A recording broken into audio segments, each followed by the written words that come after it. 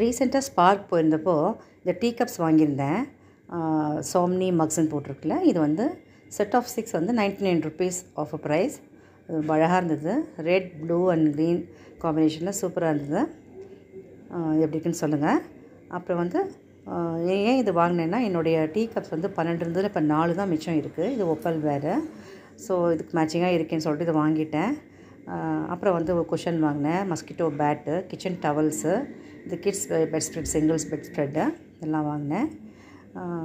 அப்புறம் வந்து டிகாஷன் போடுறதுக்கு லேஸாக பாத்திரம் வந்து அழகாக கிடச்சிது அலுமினியத்தில். இது வந்து one nineteen rupees two hundred MRP one nineteen ருபீஸ்க்கு சூப்பராக அளவாக கிடச்சிது. அது ஒன்று வாங்கினேன். அந்த டீ கப்ஸும் இந்த ஒரு ஒப்பல் கண்டெய்னரும் ஒன்று வாங்கினேன். அதுக்கு மேட்சிங்காக இது வந்து நைன்டி நைன் ருபீஸ் தான்.